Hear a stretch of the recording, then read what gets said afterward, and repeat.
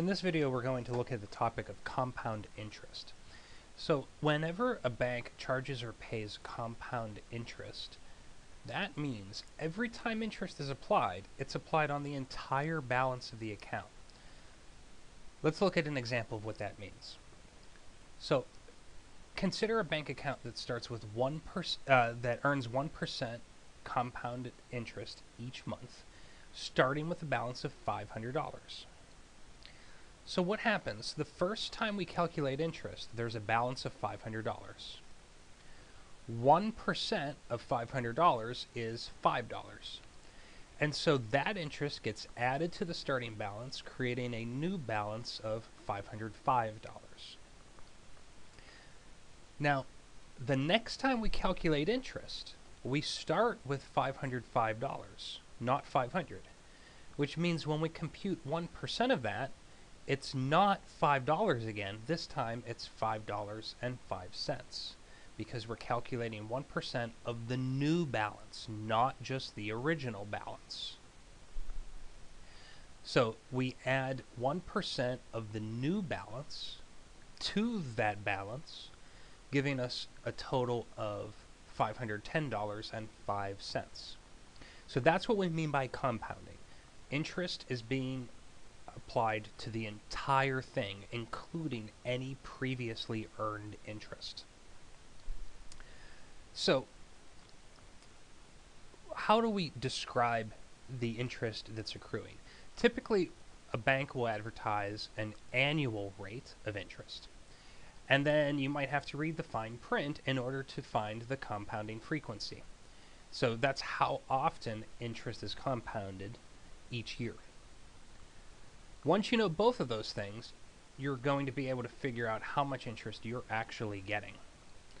So for example, if the bank advertises an annual rate of 12% compounded monthly, what that actually means is they're going to take that 12% and divide it evenly over each compounding period.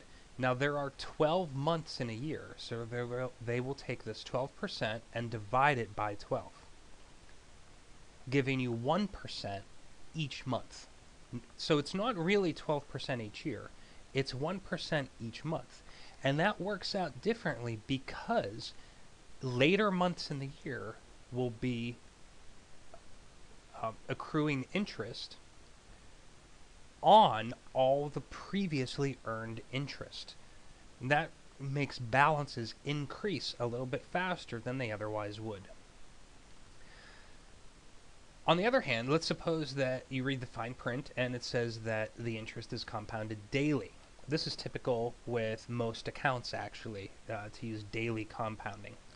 Then a 12% annual rate actually means the bank takes that advertised number of 12, divides it evenly across the number of days, and gives you the quotient there, 0.0329% each day. Um, banks will also use 365 every year, even in leap years.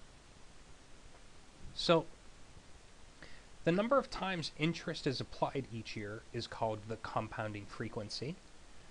And if we use the symbol M to represent that, then we can say if you're doing monthly compounding, then you're compounding 12 times per year.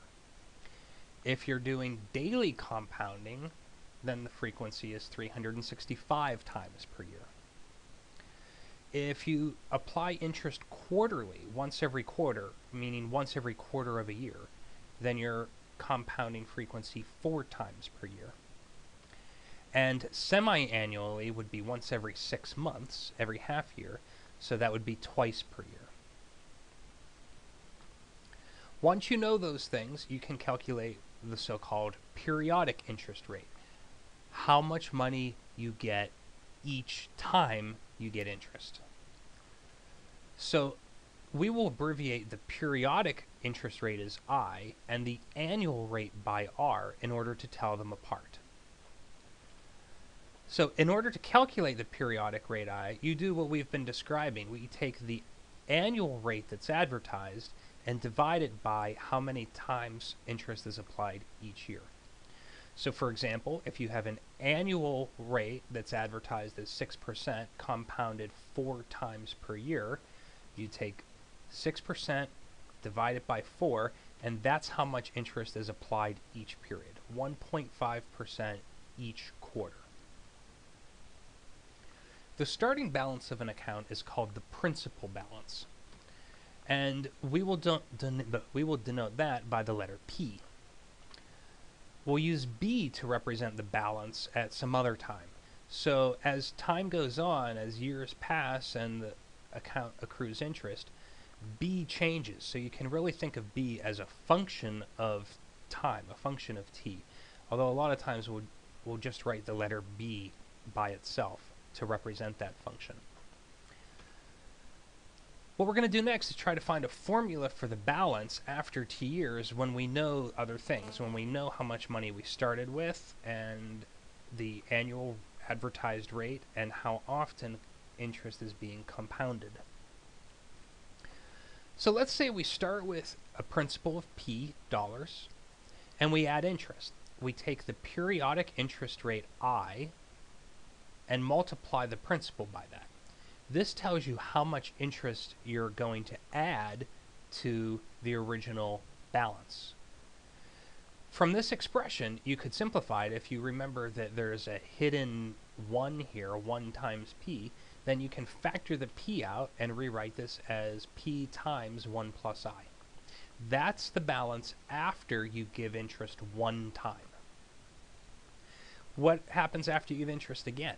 So after a second period of applying interest, you take the balance that you had and you multiply that by 1 plus i to represent adding interest a second time.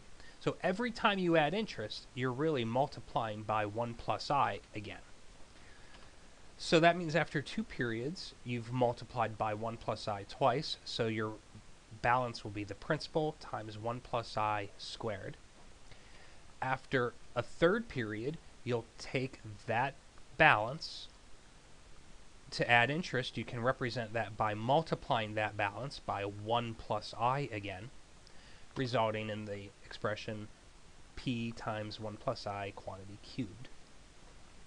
And if you do this over and over, after k periods of applying interest, your balance will be the principal you started with multiplied by 1 plus i raised to the k, where k is how many periods have elapsed.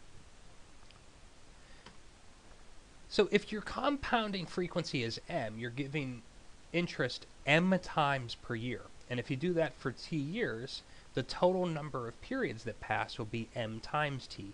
For example, if you compound quarterly, that would be 4 times per year. If you do that for 10 years, you'll have given interest 40 times. So if we plug that in for k, the number of compounding periods, it, that becomes the new exponent, m times t. So this expression represents the balance. If you add in, in uh, periodic interest rate of i, m times t many periods. All right, let's summarize that. This is called the compound interest formula. There are actually two ways to write it, so we'll call them uh, two compound interest formulas. This is the one we just came up with. And if we remember that the periodic interest rate I is obtained from taking the annual rate and dividing it by the compounding frequency, then you can also write this in the form here. The balance after t years is p, sorry, there's a missing p here, times 1 plus r over m raised to the mt. So p represents the balance after t years. Uh, b represents the balance after t years. m is the compounding frequency, r is the annual interest rate, i is the periodic interest rate. And p is the principal.